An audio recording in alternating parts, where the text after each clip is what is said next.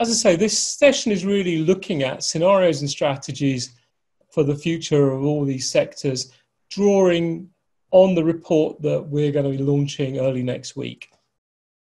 And where do we start? Well, we're in a set of sectors where we live on optimism. We're, we're a sector or a group of sectors that thrive on bringing people together, on creating incredible human experiences, in creating connection, and particularly for the meetings and event sectors, for enabling business to happen, for enable, enabling value to be created, for enabling learning experiences to happen. And all of that has been turned upside down. In, in the past, in previous downturns, we've known how to navigate through them. We've known how to drive business, how to generate new demand, and how to get to the other side of the downturn. And we're a very optimistic industry, so we tend to focus on the upside. But now we're in a situation where we're facing a factor that we've never really had to deal with before a, a major health crisis over which we have almost no control. So it doesn't matter how hard we hope or how much we wish for the economic upturn and business to return to normal. We know in our hearts of hearts that until there's a vaccine available, we're not going to return to the normality of travel and tourism, of people consuming hotels and hospitality, or people wanting to create and attend live events in a normal manner. And so we're having to redefine who we are as businesses in this uncertain and rapidly changing world and having to think really hard about how do we generate the revenues to keep ourselves going in a world where we no longer know the rules and we don't know how it's going to play out from day to day. And so I'm going to be drawing on the book that we've just launched called Aftershocks and Opportunities Scenarios for a Post Pandemic Future. There we pulled together 25 future thinkers from around the world who contributed 28 chapters. And it took us just 10 weeks to do this. We started it in March. On March the 20th, we put the call out and we launched the book on June the 1st. And there's an incredible array of ideas covering four different domains. So, critical shifts in scenarios that are taking place or that could emerge, the implications for society and social policy, the future of government and the economy, and finally, the future of business and technology. And I'll be weaving in ideas from all of those to help us think about how do we navigate our way through this and what strategies can we adopt. And what I see is that for the sectors we're talking about, there are three critical challenges that our report addresses and I'm going to be talking about today. The first is how do we make sure that we're preparing for a range of possible scenarios not just the one that looks most attractive to us. Secondly, what can we do to anticipate, understand, and then create practical responses to the shifts that are happening in our world that could be temporary, that could be permanent, but that we have to deal with? And finally, how do we make sure that we're learning enough, we're flexible enough, and we're experimental enough as core skills in our organization now? that these are becoming the core operating system for our business so that we can flex and adapt to whatever might happen. And what we know is that if we look out there, there are a whole set of different forces and factors which are hugely uncertain from the level of demand to what will the level of infections and mortality be to how will business evolve what will un- the level of unemployment be what will people's attitudes be to traveling again is a huge number. And so there are many different ways in which they could combine and create different possible outcomes. It's impossible to predict all the possible outcomes, but what we can do is create scenarios. And scenarios are a very powerful tool for making sense of uncertainty and helping us explore the different ways things could play out, and therefore effectively rehearsing the future and identifying what strategies and tactics we might adopt under any scenario so we can be better prepared for whatever might happen. And in order to really explore this for the book and for this report, we've looked at four scenarios using what's called a driving force model, where you identify the most uncertain and most impactful forces and then explore how they might interact. And for us, the two key forces here are firstly, how the pandemic evolves, where we see a spectrum from poor containment through to eradication on a global scale. And the other big driving force is the nature of the economic recovery from a deep and prolonged downturn through to some something like a strong economic rebound. And that gives us four possible scenarios, which we're calling end of an era, dancing in the dark, digital first, and smarter but smaller with a question mark. And let me take you through those scenarios so you understand them. And as I'm talking you through them, what I want you to do is to think about well, what is our business doing to prepare for this scenario? What would we do in this particular situation if we thought this might happen or if this was a viable possibility? So the first one is end of an era.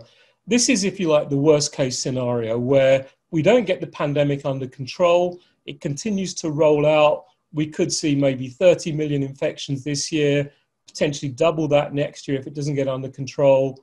Put your own figure on the number of mortalities. But in this scenario, you probably wouldn't see a vaccine until 2022 and probably not seeing the bulk of the planet vaccinated fully until the end of 2023. In this scenario, whilst some countries are doing quite well in containing the pandemic, others are going in and out of different spikes. And we're already seeing this happen now. And the, the, the challenge is that even the countries that believe they've brought an end to the pandemic are at risk because this pandemic travels around the world in seat 43C of an aircraft.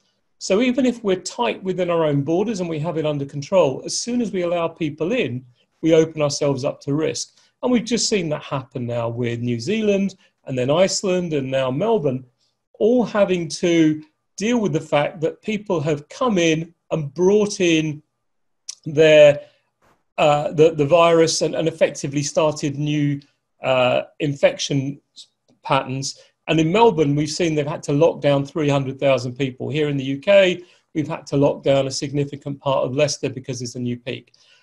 I've seen people raise their hands. Can I ask you to lower your hands? And the only way we'll take questions is by you putting your questions into the Q&A box. And if people upvote the questions, we'll respond to the ones that are most popular. So anyway, so this is in this scenario very poor containment. You really don't see it eradicated till 2023, uh, and obviously this has a big impact economically. What we see is countries trying to come out, but effectively each time they try to come out, there's a new wave of the pandemic in many countries that brings us back down again. Many businesses are already struggling. People are on furlough in many countries. Many of those jobs will go as those businesses restart, if they don't, in this scenario, they don't find the level of business they were hoping for, so they make more redundancies or they close down. And many businesses are already starting to cut their expense budgets and their investment budgets, which has a knock on effect across their supply chain and will knock on into people's budgets for next year. So you can see how this creates that deep downturn. We're already seeing uh, estimates rising as to the the level of negative GDP globally this year. The UK is predicted to have the worst fall in GDP of any developed economy. And we could see that carry on for at least two years and, and not coming out of this until around 2023. And certainly, if you look at the aviation sector, most of the big aviation players now are assuming that it will take until at least 2023 to get to a new normal. And for them, that new normal will be about 80% of what they were achieving in 2019. So we're talk- that's why we're talking about an end of an era. Old systems crumble, old structures crumble. Many of the things we took for granted start to erode. As industries, we really are in a very hesitant, very nervous state then, whether it's meetings, really moving to online predominantly. Small meetings may be happening in certain countries, but international meetings in this scenario are very difficult because of the the border protection and quarantine on arrival. The same is true for travel, whereas domestic travel might develop and, and people might be comfortable traveling within certain countries. International becomes harder and harder because of the quarantine arrangements and the risks with that. So, this is why we talk about this as being the worst case scenario. And this is the one that I think our industries tend to struggle with thinking about, but actually we probably need to put the most focus on. The second scenario is one where we have those same sort of patterns of countries going in and out of new peaks, but actually putting a much stronger focus on eradication, closing their borders, and accepting a, a more severe economic hit in the short term in order to come out more robust in the long term. The key here, though, is that this is a global phenomenon. While any country is at risk, we're all at risk. And so, in this scenario, the key is that the big nations, the G7, the G20, China, the major global institutions like the UN, World Health Organization, World Bank, IMF, EU, um, Organization of African Union, uh, all of those major players come together to say, how do we support the poorest countries with the most fragile health ecosystems? And how do we help them build that infrastructure? How do we help them get in place effective mechanisms for testing, for tracking, for tracing, and for then rolling out vaccination? So, in this scenario, it takes longer, but when we come out the other side, there's a much greater sense of security that we're not going to go back into the pandemic because we've conquered it and we're moving on. And by 2022, maybe we're pulling out and starting to see some green shoots of recovery. The third scenario is what many people see is happening now, where we continue with the pandemic, but we try and open up our economies as well. And there's a sort of hesitant rebound. In some places, meetings open up, travel is opened up, we start to see air bubbles emerge where people can travel between certain destinations. We start to see new models emerging of how we organize events, how we organize travel to ensure a super secure travel corridor. And I'll talk more about that. But still, in this environment, digital dominates. So whether it's people doing their events digitally or in travel and tourism, people consuming more and more digital travel experiences digital guides to destinations, digital storytelling of a destination, but not actually physically going there. And key here is that the government and banks are putting more support to help businesses grow but and, and get back to something like normal but businesses are hesitant to invest to recruit more people. They try and squeeze more out of what they have. They put more effort into automation. So we don't necessarily see job growth too quickly in this scenario, but we do get a, a kind of hesitant rebound. And then the final scenario is, if you like, the most optimistic one, where we get the pandemic under control, as discussed earlier. It's a global solution. We get the vaccination rolled out by the end of 2022. And there's a real focus on vibrant economic rebounds where governments, when they're giving bailouts to businesses, are tying that to investment in innovation, to investment in the creation of new jobs, to investment in green and sustainable policies. There's also a growing focus on investing in infrastructure development, in particularly Green New Deal developments, and a massive focus on training and reskilling people to take up the jobs in the new trillion dollar sectors that are coming through, mainly in areas of science and technology, whether it's vertical farming, synthetic biology, or autonomous vehicles. There's a whole range of those coming through. So this is the scenario where we see the most vibrant and sustainable rebound. And it really requires two things. That focus on getting a global solution to the pandemic and also governments making a sustained commitment to bringing the economy back. Here you see a much faster return to physical travel, uh, people willing to take the risk more, particularly once the vaccine's out there, and also to the, the rebirth of live events people willing to organize events, not waiting till the last minute to decide whether to do them or not, but really making that commitment to, to have live events and roll them out. So in this, situ- in this scenario, or in, in this situation where we've got these four scenarios, as I say, the, the trick is not to prepare for the scenario we like best, but prepare for all of the scenarios, and in particular that worst case scenario, as you know the, the warning signs become stronger and stronger it's not our natural home territory as a group of industries. We tend not to want to think about that, but that's the one we have to do the most thinking of about in order to ensure a vibrant future for ourselves. And really, what we've seen is individuals, organizations, and governments have really varied in their preparedness for this current crisis. Some have done an incredible job, whether it's companies that could move their staff to remote working within 24 hours, or countries that kicked in their response straight away. So you saw Taiwan and Singapore in particular take the lead. And in early January, they were already rolling out their response mechanisms because of the warnings coming out of China. And therefore, they've had very low infection levels and very low mortality rates. Others took a lot longer and were much less prepared. And so I think we're all learning now that being prepared for future shocks, being willing to think about a broader range of future shocks, and being capable of responding is now critical. And being capable means learning, and learning now moving to the top of the agenda. We're used in the meetings and events industry to facilitating learning, but now we need to be learning faster than our marketplaces. All of the sectors now need to be learning new skills, new ways of operating, trying new business models, being willing to experiment, knowing that there isn't a right answer the challenge now is how fast are we learning? How fast are we trying new ideas and rolling them out to see what could work for us in this constantly changing environment? And we also know that even without this uh, pandemic, digital was already accelerating into our economy. It was already dominating many sectors and was going to take a lot of people out of their jobs, which would have had an impact on the industry anyway. On the other side, we know that it's also creating a lot of new sectors and would therefore create a lot of new jobs. But what we've seen in, in the, the, the pandemic period is a lot of businesses accelerate their investment in technology and accelerate the replacement of people with technology because they don't want to be reliant on humans should something like this happen again. And so that's a real challenge.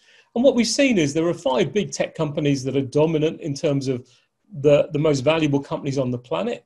Last year, we saw Amazon, Apple, and Microsoft all cross that magic threshold of being worth a trillion dollars.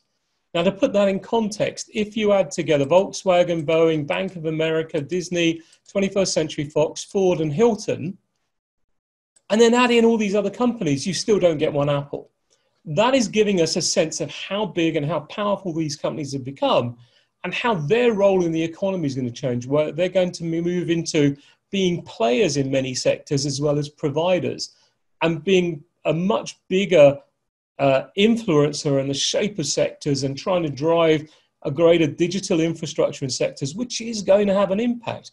They'll be quite keen to see people using tech more for delivering events, delivering learning, delivering connection. So we have to think about how are we going to respond in a world where technology is more and more centric to the way things happen. So this sets up a set of personal challenges for us in terms of how do we navigate that uncertain future. And the first thing I think is around developing the capacity within ourselves to go looking for the gold, to go looking for the new ideas and the new opportunities, and not to be bound by that which we've always done in the past. So, starting to think very broadly about what is it we can do to make sure our business stays viable if our core business is there, isn't there. So if we're a hotel and we can have no customers, what can we do with our facilities? If we're a meetings agency or a destination management company, but we don't have travelers in the same way as we used to, what can we do? And really starting to think broadly about what can we do in the changing landscape.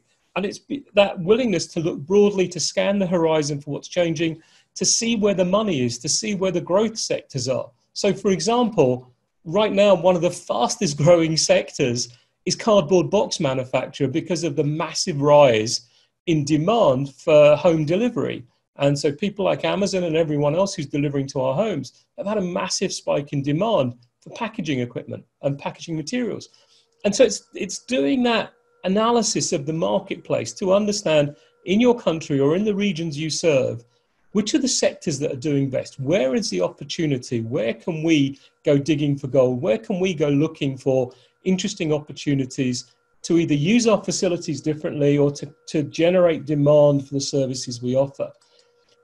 The second is not just looking to see where the opportunity is, but actually motivating ourselves to move on. I've had a lot of conversations with people where they see the idea, but they also tell me that that's not what we do, or there are people in our side, our organization, who just won't buy it. Even though logically they can see it, the emotion is that that's not what we do.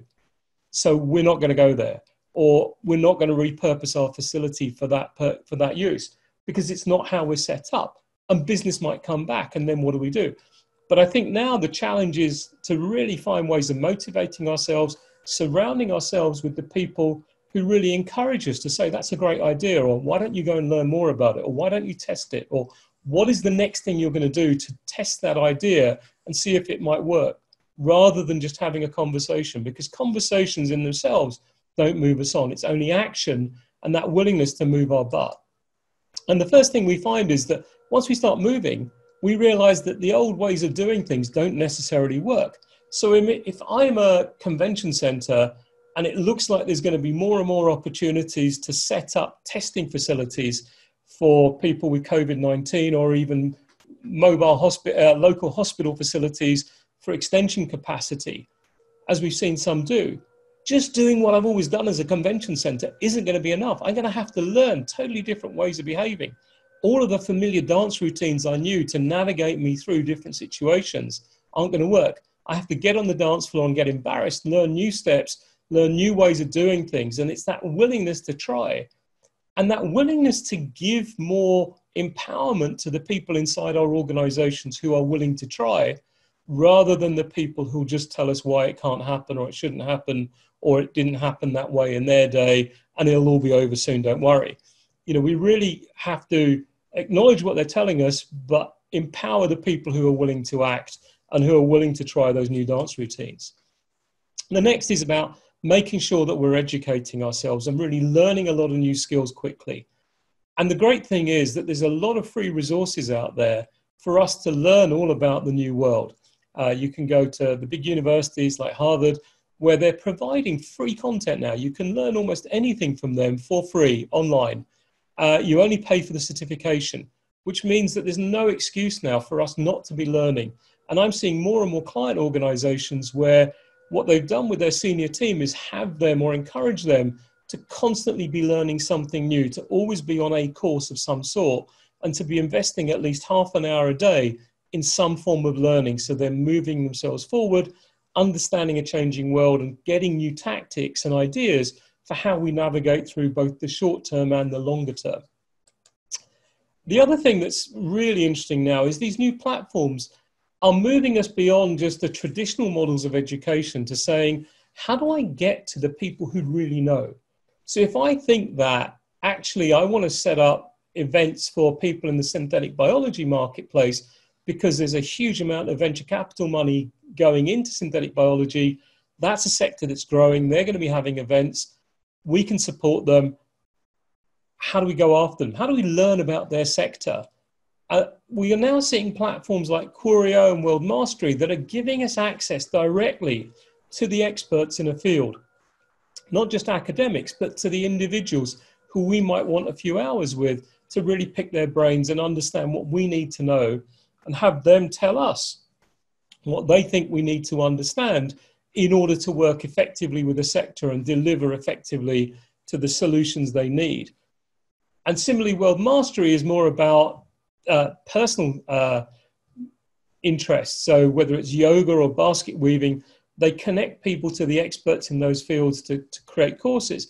Now, what we think is going to happen is there's going to be a growth in demand for people doing those kinds of personal uh, travel experiences where they're learning something and they're going into a cocooned experience to learn from masters in a particular location where it's a very secure travel experience. But we need to understand from those masters how you deliver a good experience what it is they need in facility terms, how you market these things, so we can partner with them to market these changing travel and tourism experiences. And the final thing is about working out where we want to play. Just because we're a destination management company or an event agency or a travel agency or a, a hotel that's just been used to doing leisure travel, and that's what all our competitors do as far as we understand we now need to be really clear on what space we might want to play in given the opportunities that are emerging.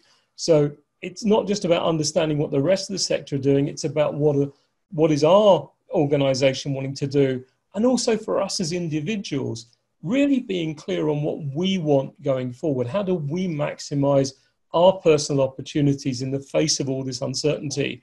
Because I'm guessing for an awful lot of the people on this webinar, there's a level of uncertainty about what our job is. So this finding our space is all the things I talked about, and finding our space apply just to, as much to us as individuals as to our organizations.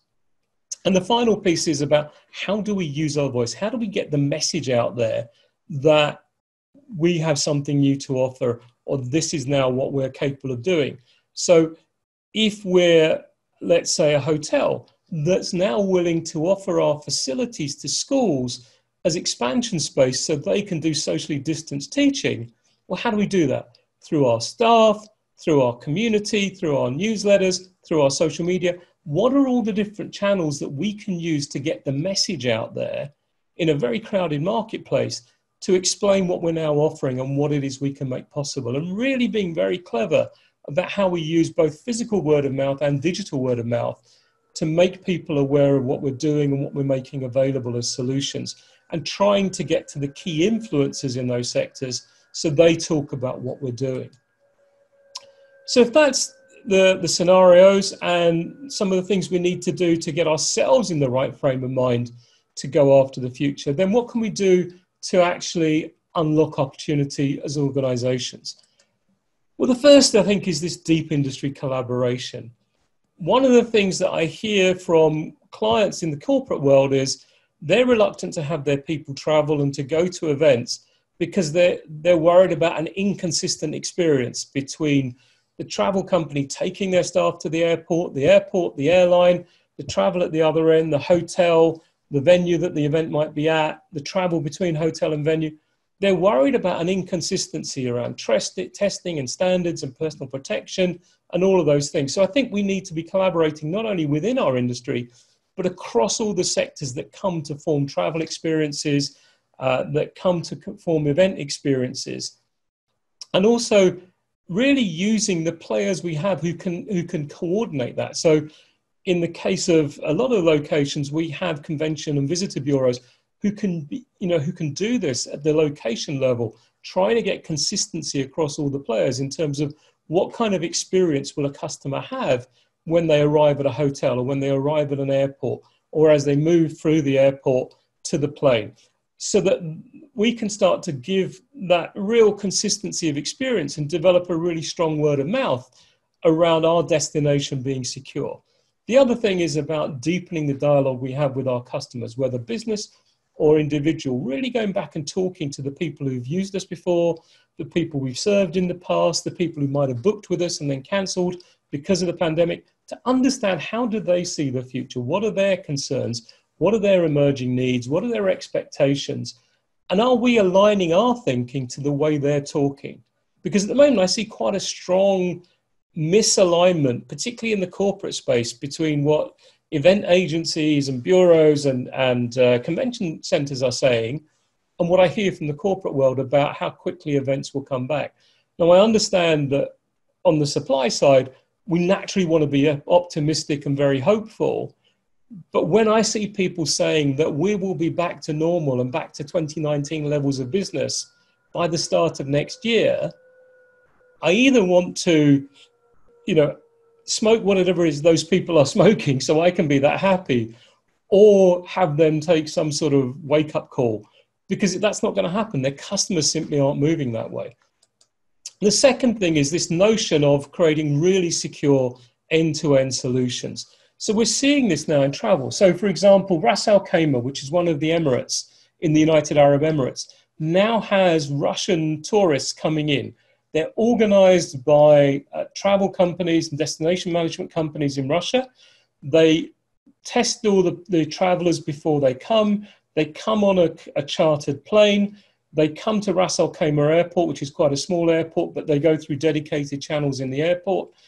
Everyone is tested before they travel. The people driving them from the airport to the hotel are tested on a regular basis. The staff in the hotel are tested. The, the, the travelers agree not to leave the hotel. It's a cocooned experience, so they effectively quarantine the whole time they're there, but then they travel back the same way. So they're in a cocooned experience. There's a very secure end to end solution there.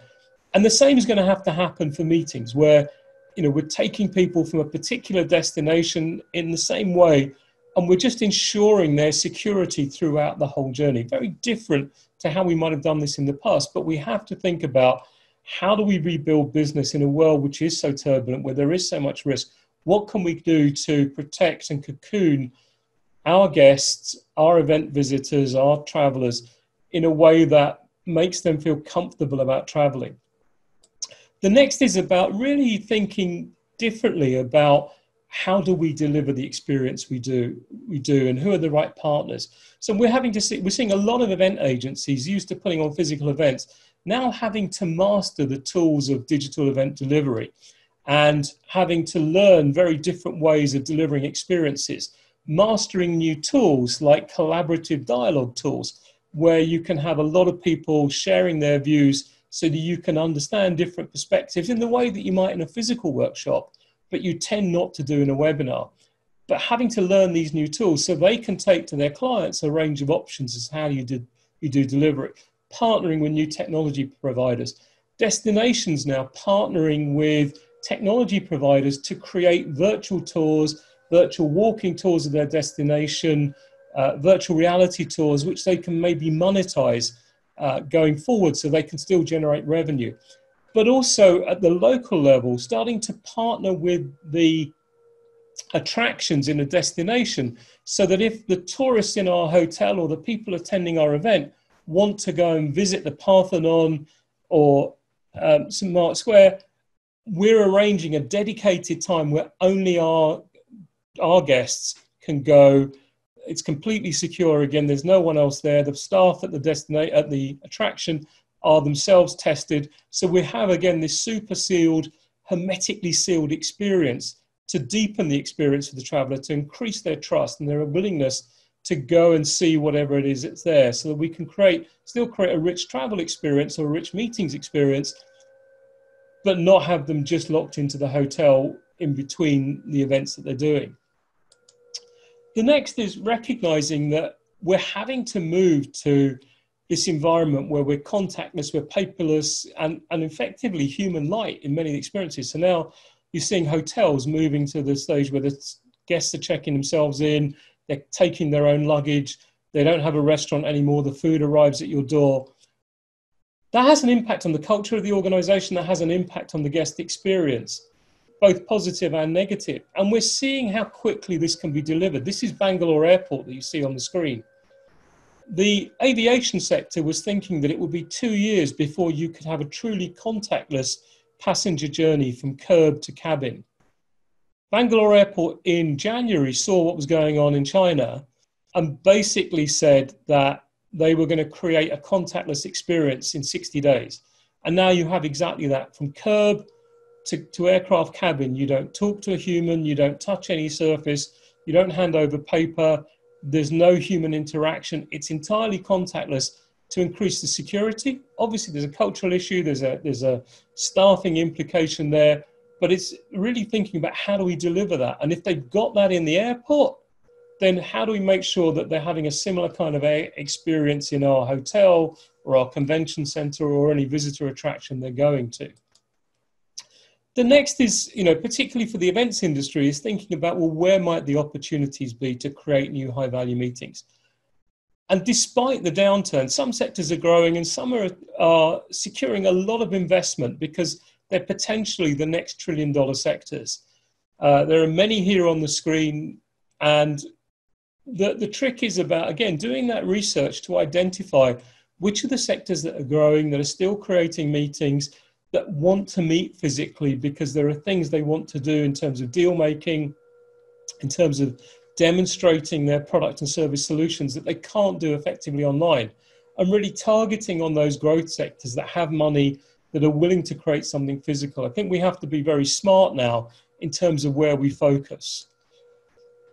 One of the big issues that I keep hearing about is that the insurance industry is saying to a lot of companies, no, we, we won't insure your people if you travel to a particular destination and then they, they get infected.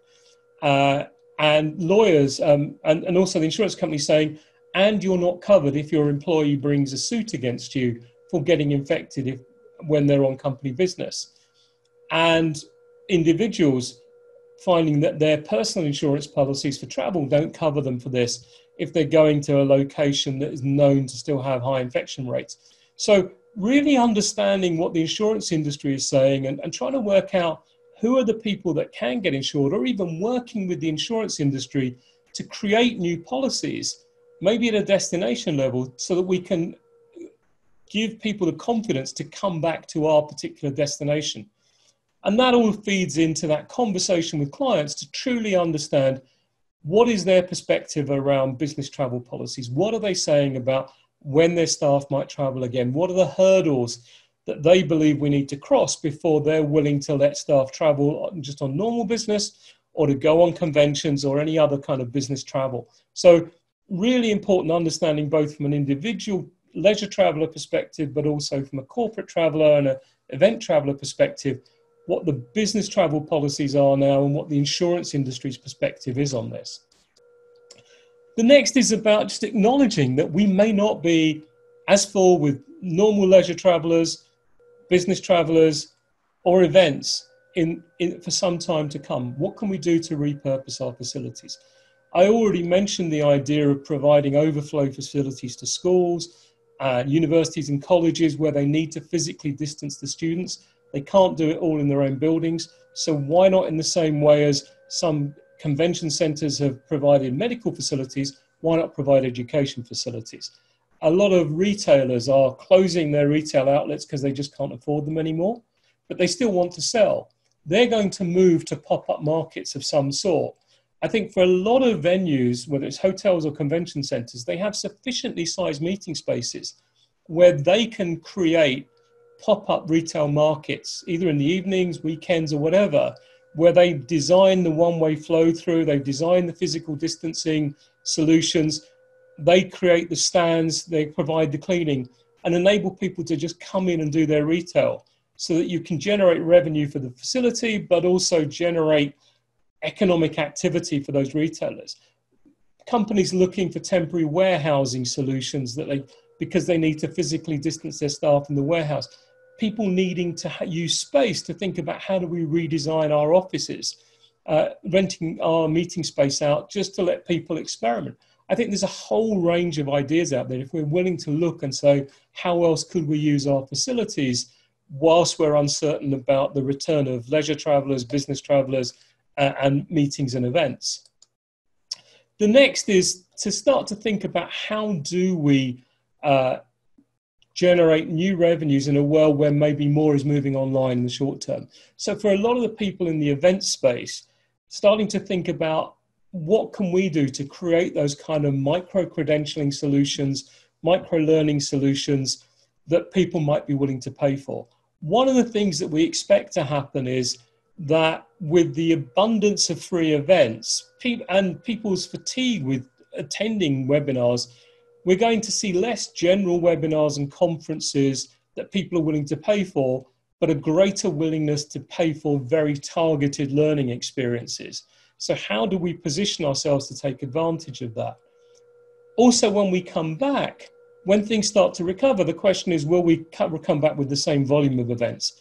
And already it's very clear that with the, the, the meetings and travel industry being very heavily affected, a lot of redundancies already, it's unlikely in the near term that we're going to see as many people coming back to all of the industry events we see at the local, at the national, at the regional, and the global level.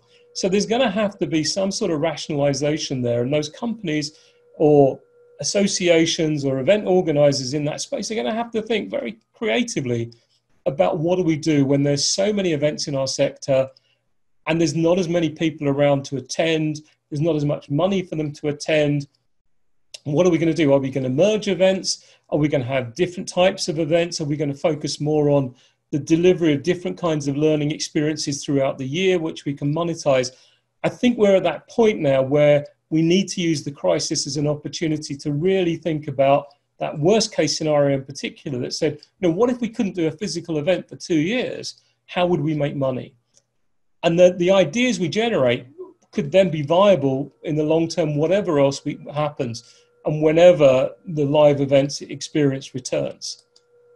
The next is to make sure we as an organization and we as an individual are continuously learning, are willing to experiment, are willing to try new things, and really push the boundaries of experimentation because we don't know what's going to work. We don't know where the opportunities are. We don't know how long it'll be before we get back to you know what you might call normal in terms of events or leisure travel some destinations are opening up yes but then they're closing down again some are allowing meetings of up to 30 or 50 or even 500 i believe in alaska but then there are travel bans and border restrictions so we know that we're not at normal yet and it could be some time before we get there so what are we doing to learn new ideas new models of delivery new opportunities, experiment with new things that we could be doing either with our, our capabilities as an organization or our physical resources in order to ensure a viable future for ourselves.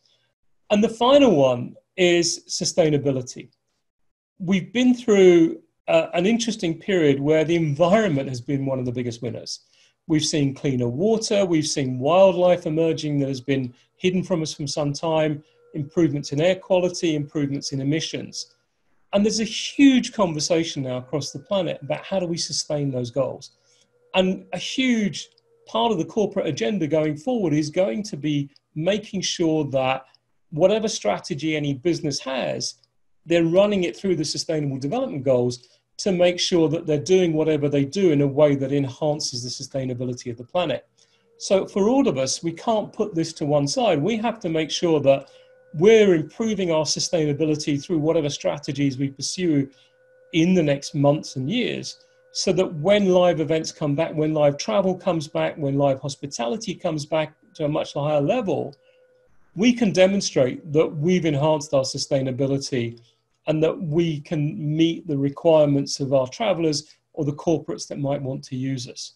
So that's a fairly rapid travel uh, journey through the scenarios, some of the personal challenges, and some strategies to help us navigate this environment. And that really takes us back to the three critical challenges. Uh, as I say, I want to reiterate those. We have to prepare for a range of different possible scenarios. We can't just hope for the best, we have to prepare for the worst. We also have to make sure that we're building our capacity to really anticipate what might be happening, understand changing customer needs, and responding to the kinds of shifts that are happening to make sure that we're learning new ideas, we're finding new opportunities, and becoming more and more flexible and adaptable and willing to experiment with how we can generate new opportunities, generate the kind of revenues we need to keep us viable, and make sure that we've got a lifeline to the future. So I talked earlier about learning to dance. I think really the, the bottom line for me now is that in every sector, what we did before just may not be enough for us going forward. And I think the hospitality sector, the event sector, the aviation sector are amongst the hardest hit. And our old routines just aren't going to cut it in a world where we don't have the same level of business. We don't have the same expectation of business returning to normal as, as other sectors. We have to learn new ways of operating, new ways of delivering what we deliver, creating new services and solutions, and generating new revenue streams for ourselves to ensure our sustainability and our viability into the long term. So I hope that makes sense. I hope that's given you some food for thought. Uh, for those that have stayed all the way through or are watching the video afterwards, a little gift for you as well. Uh, if you'd like to stay in touch with our general thinking about the emerging future, uh, we have a newsletter that comes out roughly once a week. It's normally $149 for the year. But for showing us your support to join this seminar, we're happy to give it to you for free if you go to our website and just uh, enter that coupon code at checkout. Just take a picture of the screen uh, and you're there.